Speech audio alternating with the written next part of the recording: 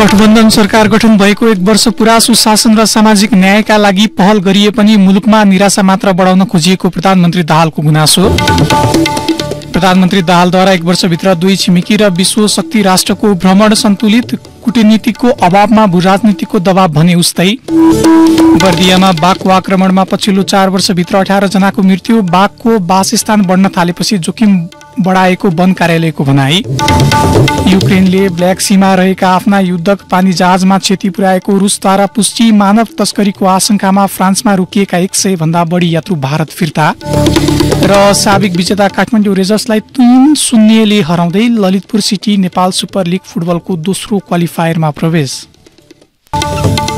नमस्कार कान्तिपुर डायरीका साथमा साथी असीम र म मनिष समाचार अब विस्तारमा। प्रधानमन्त्री पुष्पकमल दाहालले आफ्नो एक वर्ष कार्यकालमा विकास निर्माण र सुशासनको क्षेत्रमा सुधारको पहल भए पनि निराशा बढाउने खोजिएको टिप्पणी गर्नुभएको छ। सरकार गठन भएको एक वर्ष पूरा भएको अवसरमा राष्ट्रको नाममा सम्बोधन गर्दै प्रधानमन्त्री दाहालले सुशासन सामाजिक न्याय र समृद्धिका लागि भएका पहलको फेरिस्त समेत प्रस्तुत गर्नुभएको छ।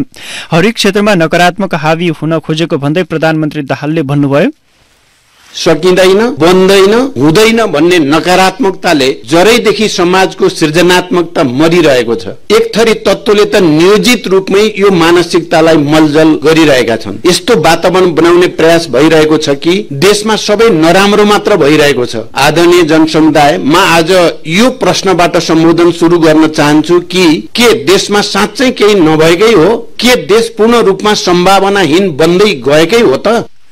उहाँले हाई प्रोफाइलहरूलाई कानूनले छुनैन छुनै सक्दैन भन्ने आम मनोविज्ञानलाई सरकारले चिरेको दावी गर्नुभयो। सरकारले नक्कली भुटानी शरणार्थी र ललिता निवास जग्गा प्रकरण सुन लगायतको काण्डमा इतिहासकै सबैभन्दा ठूलो कारवाही र अनुसन्धान गरेको प्रधानमन्त्रीको दावी थियो। त्यस्तै उहाँले आगामी दिनमा दलहरूको बैठक विभिन्न क्षेत्रको सुधारमा केन्द्रित गरिने बताउनुभयो। म अब दलहरू नागरिक समाज र राज्यका सबै निकायलाई समेत क्रम भङ्गताको अपिल गर्न चाहन्छु। अब शीर्ष बैठकहरू सत्ताको वितरण गर्न होइन विश्वविद्यालयहरू सुधार्न परराष्ट्र नीतिमा राष्ट्रको एउटै धारणा बनाउन रोजगारी सृजना गर्न र लगानीका लागि राष्ट्रको छवि सुधार्न बस्नेछन्। यसैबीच प्रधानमन्त्री दाहालले विश्वविद्यालयमा राजनैतिक भागभण्डा नहुने बताउनु भएको छ। आगामी दिनमा विश्वविद्यालयमा राजनीतिकरण हुन नदिने दावी गर्दै भन्नुभयो।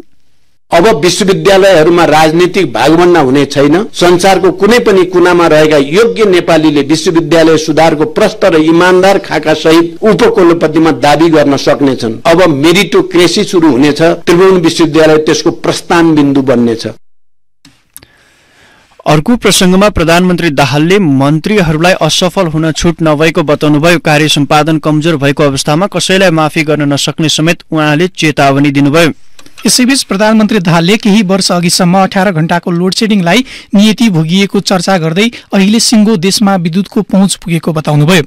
बर्खायाममा पनि विद्युत आयात गर्नुपर्ने अवस्थाबाट देश विद्युत निर्यात गर्ने ठाउँमा पुगेको उहाँको भनाइ थियो। त्यस्तै प्रधानमन्त्री दाहालले पछिल्लो एक वर्षमा किसानहरूलाई समयमै चार लाख एक हजार मेट्रिक टन रासायनिक मल सुनिश्चित भएको उल्लेख गर्नुभएको छ। प्रधानमन्त्री दाहालले सत्र हजार हेक्टरमा चैते धान खेती प्रबन्धन गर्ने सरकारको तयारी रहेको बताउनुभयो। उखु उत्पादक किसानहरूको बक्युता रकम एक अर्ब बत्तीस करोड वितरणको व्यवस्था मिलाइएको उहाँको भनाइ थियो। त्यस्तै दुध किसानहरूको बाँकी बक्यौता आगामी चैतभित्र भुक्तानी हुने प्रधानमन्त्री दाहालले उल्लेख गर्नुभयो। कान्तिपुर डायरीमा अब कान्तिपुर सविस्तार। कान्तिपुर सविस्तार। प्रधानमन्त्री पुष्पकमल दाहालको एक वर्ष कार्यकालमा मुलुकको कूटनीतिक सम्बन्ध र परराष्ट्र मामिलामा थुप्रै घटना व्यतीत भएको छ। भू राजनीतिको दबाव र प्रभाव बढ़िरहँदा प्रधानमन्त्री दाहालबाट भएका भारत र चीनको भ्रमणले बढ़ी महत्व पाए पनि उपलब्धि के भयो भन्नेमा बहस भएका छन्। द्विपक्षीय सम्बन्धलाई सन्तुलित बनाउनु पर्ने बाध्यताका बीच दाहालको विदेश भ्रमण र ती देशसँगको गरिएको कूटनीतिक पहलबारे मिश्रित धारणा पाइएको छ। प्रधानमन्त्रीमा निर्वाचित भएपछि आफ्नो पहिलो विदेश भ्रमणका लागि पुष्पकमल दाहाल भारत पुगेका थिए। नेपाली प्रधानमन्त्रीले सुरुमै भारत भ्रमण गर्ने परम्परा अनुसार नै कर्मकाण्डी बनाएर दिल्लीलाई रिझाउन दाहाल त्यसतर्फ गएको विश्लेषण गरियो। भारतपछि संयुक्त राष्ट्रसंघको महासभाका लागि अमेरिका पुगेका दाहाल त्यतैबाट सिधै उत्तरी छिमेकीको भ्रमणमा गएका थिए। यसरी एक वर्षको अवधिमा दुई छिमेकी र विश्व शक्ति राष्ट्र अमेरिकाको भ्रमण दाहालले पूरा गरेका छन्। राष्ट्रसंघको महासभामा केन्द्रित भई अमेरिका गएकाले द्विपक्षीय सम्बन्धमा प्रधानमन्त्री दाहालको भ्रमण प्रवेश नगरे पनि भारत र चीनको भ्रमणले बढी महत्व पायो। ती भ्रमणमा आफूले सन्तुलित कूटनीति मार्फत छिमेकी देशसँगको सम्बन्धलाई अघि बढाएको दावी प्रधानमन्त्री दाहालले गर्दै आएका छन्। तर आलोचकहरूको दृष्टिमा भारत र चीनको भ्रमण औपचारिकतामा सीमित भएको टिप्पणी भएका छन्। वर्षौंदेखि देखिको सीमा समस्या समाधानका लागि भारतसँग गम्भीर संवाद गर्न नसकेको र चीनसँगको बीआरआई सम्झौता अनुसार अघि बढ्न नसकेको आरोप दाहालमाथि लाग्दै आएको छ। त्यसमाथि भारत भ्रमणका क्रममा दाहालले सीमा विवाद समाधानको विकल्पका रूपमा जमिन साट्न सकिने अभिव्यक्ति दिएपछि निकै चर्चा र आलोचना भएको थियो। त्यति बेला उनले भनेका थिए हामीलाई बङ्गलादेश जाने बाटो दिने कुरा पनि एउटा विकल्प। नेपालका विज्ञहरूले भनि पनि राख्नु भएको छ हामीलाई बङ्गलादेश जाने बाटो त्यही जमिन बराबर दिने हो भने त सजिलै हल हुन्छ भन्ने चाहिँ नेपाली विज्ञहरूको लगातारको भनाइ छ। अब एउटा विकल्प त हामीले जो तथ्य तथ्याङ्क ऐतिहासिक तथ्यको आधारमा हाम्रो भूमि भनेर हामीले दावी गरिरहेका छौँ दावी मात्रै होइन त्यो हाम्रो भूमि नै हो। त्यो भूमि सर्लक फिर्ता गरे सबभन्दा राम्रो। प्रधानमन्त्रीले त्यतिखेर जोड दिएका विषयमा केही साता तरङ्ग ल्याए पनि सो विषय अहिले सेलाएको छ। भारत भ्रमणपछि नेपाल भारत बीचको विद्युत व्यापारको विषयले महत्व पाए पनि अघि बढ्न सकेको छैन। यद्यपि अर्को महिना हुने नेपाल भारत संयुक्त समितिको बैठकमा प्रधानमन्त्रीको भ्रमणका क्रममा भएका समझदारीको कार्यान्वयनको प्राविधिक पाटोमा छलफल हुने अपेक्षा गरिएको छ। प्रधानमन्त्री दाहालको भ्रमणबारे भारतका लागि नेपालका पूर्व राजदूत लोकराज बराल भन्छन्। भनेको जो गए पनि त्यस्तो नाटकीय ढङ्गले फलदाय हुने कुरा आएर भएको सन्दर्भमा चाहिँ मूलभूत कुरामा हामीले कहिलेकाहीँ त्यो सिमानाको बारेमा सुरक्षाको बारेमा यस्ता कुराहरूमा बढी अल्झिन्थ्यौँ यसपालि उहाँको भारत भ्रमणको बेला चाहिँ खालि विकास सम्बन्धी कुरामा ध्यान गएको र दस हजार मेगावाट बिजुली भारतले किनिने भएको हुनाले र अलिकति साधारण समझदारी पनि भएको हुनाले मैले त्यसलाई सकारात्मक रूपमै लिएको हो। प्रधानमन्त्री दाहालले भारतपछि अमेरिकाको भ्रमण गरेका थिए। संयुक्त राष्ट्र राष्ट्रसंघको महासभाको भ्रमणका क्रममा प्रधानमन्त्रीले सम्बोधन गर्दै आफ्नो कार्यकालमा संक्रमणकालीन न्याय सम्बन्धी विषय टुङ्ग्याउने प्रतिबद्धता जाहेर गरेका थिए। अमेरिकाबाट सिधै चीन भ्रमणमा गएका प्रधानमन्त्री दाहालले कुनै उपलब्धि दिन नसकेको विश्लेषण भएका छन्। त्यसैले चीन भ्रमण किन उपलब्धिमूलक हुन सकेन भनेर प्रश्न गरिएका छन्। Centre for Nepal and Asian studies सिनासका कार्यकारी निर्देशक मृगेन्द्र बहादुर कार्की भन्छन् मलाई उपलब्धि पूर्ण चाहिँ मलाई लाग्दैन। एउटै उपलब्धि भनेको चीनले पनि नेपालको व्यवहारिक कठिनाई अहिलेदेखि होइन नाइन्टिन सिक्सटिजमै बिपी कोइराला र राजा महेन्द्र जाँदाखेरि पनि व्यवहारिक व्यवस्था भनेको भारतसँग नजिक बसेर काम गर्नुहोस् भन्ने नै त्यो मेसेज दिएको जस्तो लाग्छ। तर समझदारी र सम्झौताहरू चाहिँ हामीले गर् तर त्यो व्यवहारमा कानुनमा चाहिँ कार्यान्वयनमा लिएर नआउने। त्यो कारणले गर्दाखेरि अहिले प्रधानमन्त्रीज्यू चिन जाँदाखेरि चिनले पुराना समझदारी र सम्झौताहरू छन् तिनीहरूलाई कम्प्लिट नगरिकन नयाँ समझदारी र सम्झौताहरू गर्नु चाहिँ त्यति उपयुक्त हुन्न र प्र्याक्टिकल देखिन्न भन्ने बुझाइ चिनको पनि रहेको जस्तो मलाई लाग्छ। एकदमै हाई रेस्पेक्ट र उचित सम्मान त दियो। अब नयाँ समझदारी चाहिँ गरिराख्नु पर्छ भन्ने बुझाइमा चिन अलिकति प्र्याक्टिकल भएर चिनले पनि हेरेको अवस्था हो कि भन्ने मलाई लाग्छ। प्रधानमन्त्री दाहालले एक वर्ष कार्यकालमा भारत अमेरिका चीनसँगै युरोप भ्रमण समेत गरेका थिए। विश्व खाद्य कार्यक्रमको सम्मेलनमा सहभागी हुन प्रधानमन्त्री दाहाल इटली गए। त्यस्तै पछिल्लो पटक जलवायु परिवर्तन सम्बन्धी राष्ट्र संघीय सम्मेलन कोप अठाइसका लागि उनी युए भ्रमणमा गएका थिए। त्यस अघि राष्ट्रसंघीय महासचिव एन्टोनियो गुटरेसको नेपाल भ्रमण एउटा महत्वपूर्ण पक्ष थियो। त्यस्तै एक वर्षको अवधिमा पोर्चुगलमा राजदूतावास खोल्ने जर्मनीसँग श्रम सम्झौता गर्ने जस्ता द्विपक्षीय सम्बन्धका लागि काम भएका छन्। इजरायल र प्यालेस्टिनी विद्रोही हमासको युद्धका क्रममा नेपालीहरू समेत मारिएको घटना र हमासको नियन्त्रणमा रहेका भनिएका नेपाली युवा विपिन जोशीको रिहाई तथा रुसी सेनामा आबद्ध भई युक्रेन विरुद्धको युद्धमा नेपाली युवा संलग्न भएको घटना र उनीहरूको फिर्ती जस्ता मुद्दा नेपालको कूटनीतिक पक्षसँग जोडिएका छन्। गठबन्धन दलसँगको सम्बन्धमा तिक्तता आउँदा तत्कालीन परराष्ट्र मन्त्री विमला राई पौडेललाई विदेश भ्रमणमा रोक लगाएको जस्ता परिघटना समेत यही अवधिमा भयो। यी घटनाहरूको समीक्षा गर्दै प्रधानमन्त्री दाहालले अबको दिनमा कूटनीतिक सम्बन्ध र परराष्ट्र मामिलालाई अघि बढाउनु पर्ने देखिन्छ। किनभने बदलितो भू राजनैतिक दबाव र चाप काठमाडौँमा फराकिलो बन्दै गएको छ। रेडियो कान्तिपुरका लागि दिवा भट्टराई। कान्तिपुर सविस्तार। कान्तिपुर डायरीमा अब ब्रेकको पालो। ब्रेकपछि कान्तिपुर डायरीमा अब बाँकी प्रसङ्ग।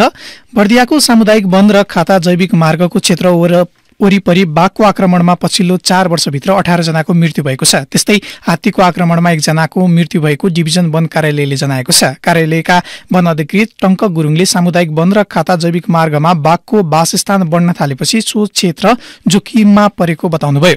बर्दिया निकुञ्जका अनुसार दुई हजार छप्पन्न सालदेखि असी मङ्सिरसम्म जनावरको आक्रमणबाट छत्तीस जनाको मृत्यु भएको छ। बर्दिया राष्ट्रिय निकुञ्जमा पछिल्लो गणना अनुसार एक सय पच्चिसवटा बाघ छन्। नजिकैको जंगलमा घाँस दाउराका लागि पुग्ने स्थानीय बासिन्दाको खास गरी बाघको आक्रमणमा पर्दै आएका छन्।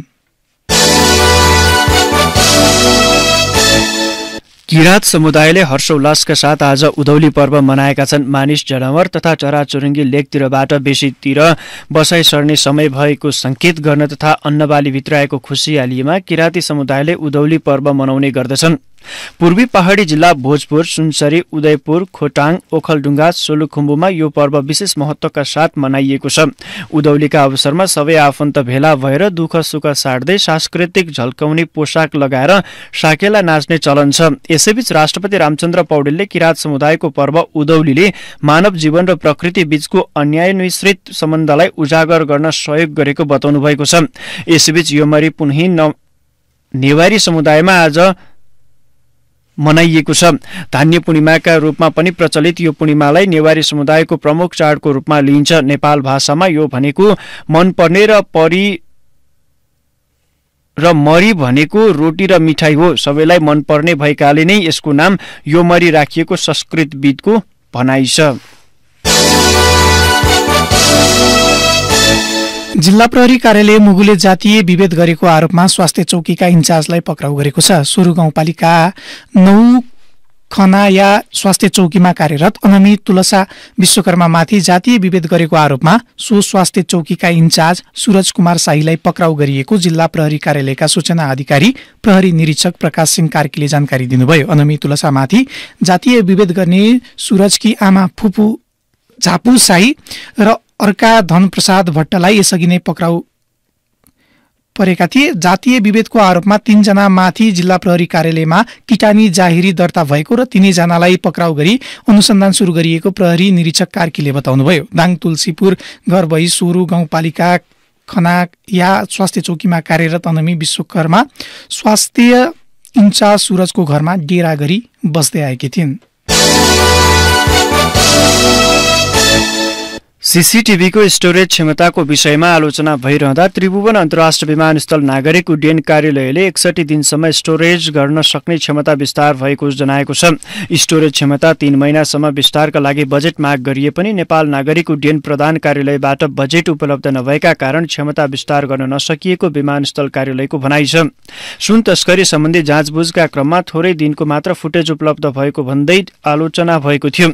हाल सोह्र टिभी क्षमताको छत्तिसवटा हार्ड डिस्क जडान गरिएको र जडान कार्य नब्बे दिन नपुगेकाले एक्काइस दिनको मात्र फुटेज उपलब्ध भएको कार्यालयका महाप्रबन्धक प्रताप बाबु तिवारीले जानकारी दिनुभयो।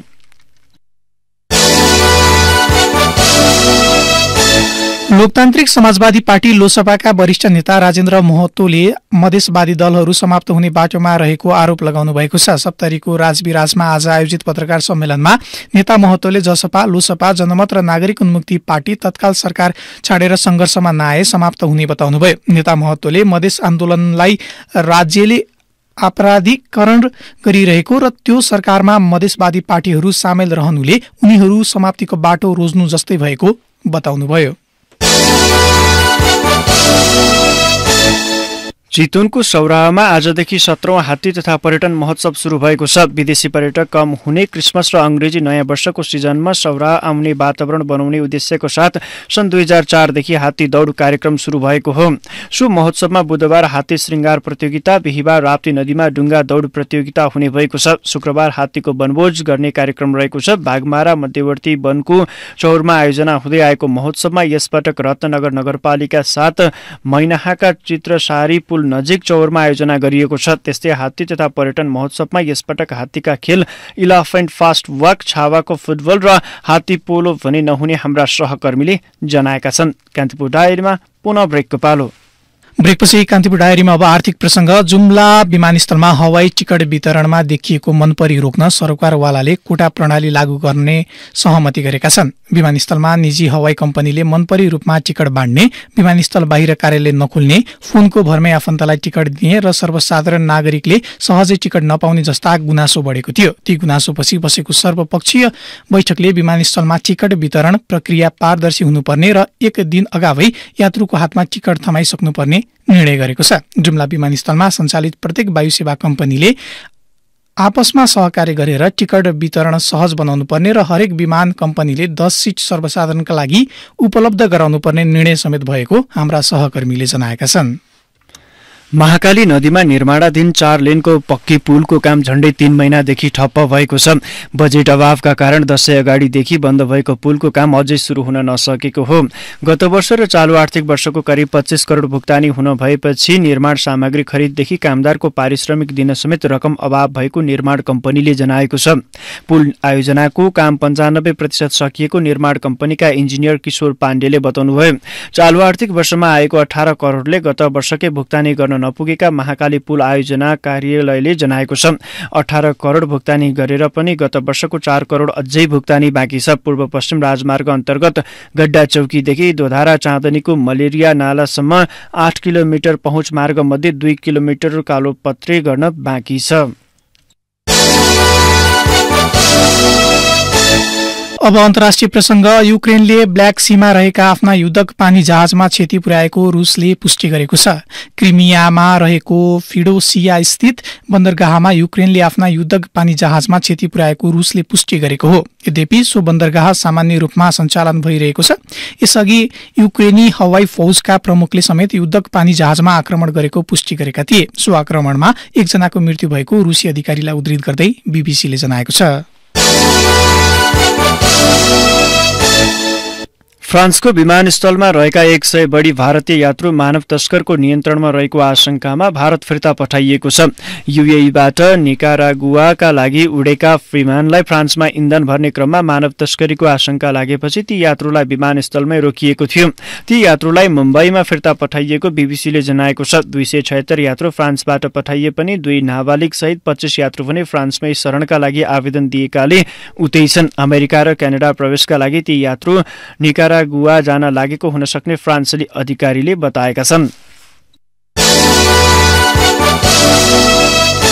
अब खेल प्रसङ्ग नेपाल सुपर लिग फुटबलको इलिमिनेटरमा साबिक विजेता काठमाडौँ रेजर्सलाई तीन शून्यले हराउँदै ललितपुर सिटी दोस्रो क्वालिफायरमा प्रवेश गरेको छ। ललितपुरले अब फाइनल प्रवेशका लागि बिहिबार पोखरा ठण्डसँग खेल्नेछ। पराजयसँगै जारी सिजन दोस्रो सिजनका लागि काठमाडौँ रेजर्सको चुनौती समाप्त भएको छ। काठमाडौँको त्रिपुरेश्वर स्थित दशरथ रङ्गशालामा भएको खेलमा ललितपुर सिटीलाई छत्तिसौँ मिनटमा इमोह इजेकेले गोल गर्दै अग्रता दिलाएका थिए। त्यस्तै खेलको चौवालिसौँ मिनटमा ललितपुरका पापा इबौ केवेले गोल गर्दै अग्रता दोब्बर पारे। पहिलो हाफमा दुई शून्य गोलको अग्रता बनाएको ललितपुरले तेस्रो गोल भने दोस्रो हाफमा गरेको हो। खेलको बाहन्नौ मिनटमा इजेकेले व्यक्तिगत दोस्रो गोल गर्दै ललितपुरलाई तीन शून्यको जित दिलाए।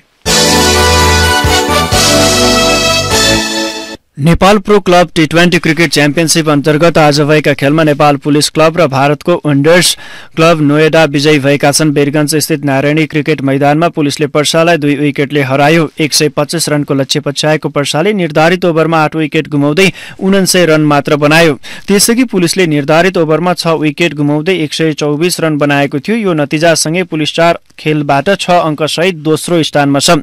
चार अङ्क जोडेको पर्सा चौथो स्थानमा छ। यसअघि सोही मैदानमा भएको अर्को खेलमा नोएडाले भारतकै उत्तर प्रदेश क्लब एघारलाई सात विकेटले हरायो। नोएडाको यो दोस्रो जित हो। एक सय पन्ध्र रनको लक्ष्य नोएडाले पन्ध्र ओभरमा तीन विकेट गुमाउँदै पूरा गर्यो। त्यसअघि उत्तर प्रदेशले निर्धारित ओभरमा नौ विकेट गुमाउँदै एक सय चौध रन बनाएको थियो। आजको जितपछि नोएडा चार अङ्कसहित तालिकाको तेस्रो स्थानमा छ। पाँच खेलमा अङ्कविहीन उत्तर प्रदेश पुच्छारमा छ। कान्तिपुर डायरीका आजका सम्पूर्ण बुलेटिन सकिन्छ। साथी मनिष साथी असीम र मनिष पनि बिदा माग्छौँ। नमस्कार शुभरात्रि।